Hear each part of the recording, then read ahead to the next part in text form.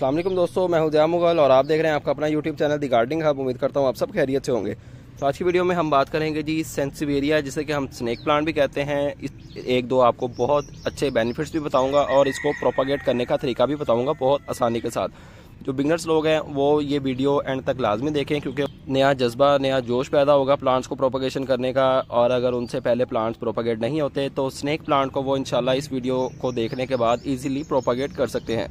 तो आए अपनी वीडियो स्टार्ट करते हैं। तो दोस्तों, सबसे पहले ये बात करते हैं जी स्नेक प्लांट के कुछ बेनिफिट्स के बारे में। स्नेक प्लांट एक एयर प्योरीफायर प्लांट है। ये ये इंडोर भी है, ये आउटडोर भी है। यानी आप इसको अपने कमरे में भी प्लेस कर सकते हैं, आप इसको फुल सनलाइट में अपने गार्डन में भी प्लेस कर सकते हैं।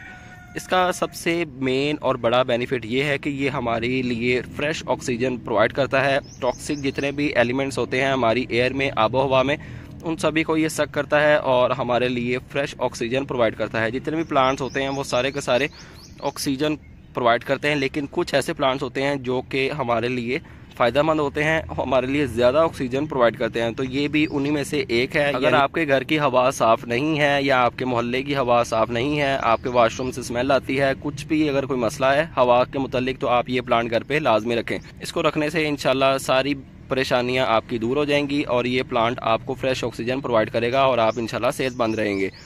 और दूसरा इसका बेनिफिट ये है कि देखने में बहुत ही खूबसूरत लगता है। आपने अगर घर में लगाया हो तो ये आपकी घर की खूबसूरती में मज़ीद इजाफा करता है। तो आज इसको प्रोपागेट करने की कोशिश करते हैं। अगर आपने एक सेंसिव एरिया का प्लांट लगाया है लाइक दिस ये एक प्लांट है सिंपल एक प्लांट लगा हुआ है, एक पॉट के अंदर, इसके साथ कोई भी पप नहीं है।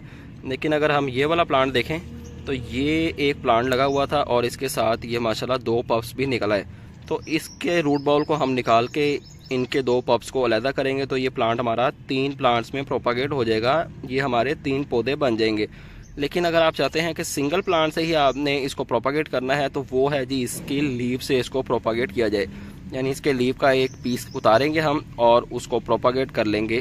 तो इनशाला वो अपनी रूट्स भी निकाल लेगा और हमारे पास एक न्यू प्लांट भी बन के आ जाएगा। तो वो मेथड क्या है? सिंपल आपने एक प्लांट ले लेना है। अगर तो आपके पास पहले से प्लांट अवेलेबल है तो वेल एंड गुड नहीं है तो आप कहीं से एक उसका पीस उतार के ले आए। पीस नहीं भी मिलता, उसका आधा पीस उतार के ले आए।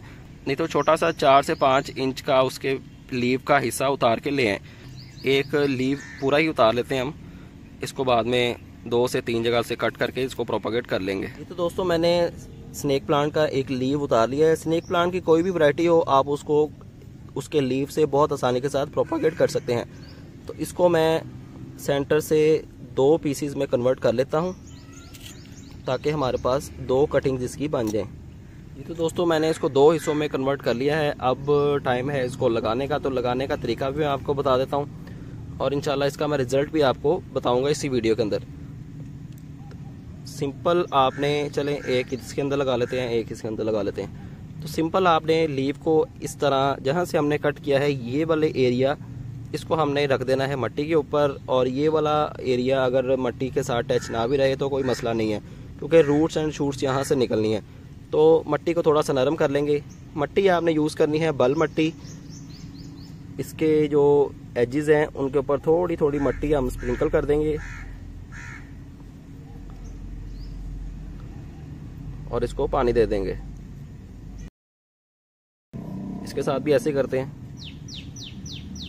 यानी इसके, इसको आपने कवर कर देना है थोड़ी थोड़ी मट्टी के साथ। इस तरह से आपने इसको लगा देना है और इनको थोड़ा थोड़ा सा पानी दे दें। पानी हमने देना है जी बरीक शावर की मदद से। ये शावर मैं यूज़ कर रहा हूँ पानी देने के लिए।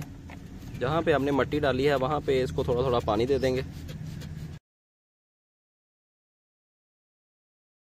पानी देने के बाद आपने इनको रख देना है जी शेडी एरिया में। शेडी एरिया में रखने के बाद आपने जब भी इसको पानी देना है तो आपने प्रेशर के साथ, पाइप के साथ इसको पानी नहीं देना। नहीं तो हमारा लीफ हिलता रहेगा और इसकी जर्मिनेशन स्टार्ट होने में काफ़ी टाइम लग जाएगा। तो कोशिश करें आराम से इसको बॉटल से साइड से पानी दे दें ताकि हमारे लीफ को भी पानी मिल जाए और हमारे प्लांट को भी पानी मिल जाए। मैंने तो इसी पोर्ट के अंदर लगा लिया, लेकिन आप कोशिश कीजिएगा कि इसको सेपरेट पोर्ट के अंदर लगाएँ। तो आपने लगा के रख देना है। ये तो दोस्तों जो लीव हमने लगाए हैं वो तो अभी फ्रेश लगाए हैं आपने देखा इस वीडियो के अंदर। पहले से लीव लगे हुए थे उनका मैं आपको रिज़ल्ट दिखाने लगा तो ये आप देखें ये लीव मैंने लगाया था एक ये लीव मैंने लगाया था और एक ये लीव मैंने लगाया था। तो दो से तीन माह के अंदर माशाल्लाह इनके चार से पाँच पप्स बल्कि छः पप्स निकल आए हैं और इनकी ग्रोथ आप देख सकते हैं माशाल्लाह कितनी अच्छे से इनकी ग्रोथ चल रही है। ये तो माशाल्लाह बहुत प्यारा हमारा एक प्लांट बन गया है मेच्योर प्लांट ये वाला भी लेकिन ये दो तीन प्लांट्स हमारे अभी छोटे हैं। तो इनको मैं अभी एज इट इज़ ऐसे ही लगा रहने दूँगा। जैसे ही ये थोड़े से और बड़े होते हैं देन इनको निकाल के सेपरेट सेपरेट पॉट में मैं लगा दूँगा।